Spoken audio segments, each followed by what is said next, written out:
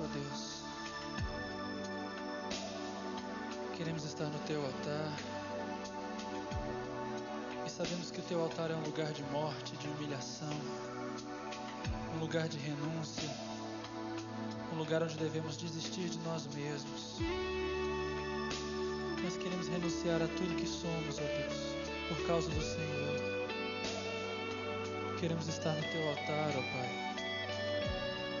Ajuda-nos, ó Deus.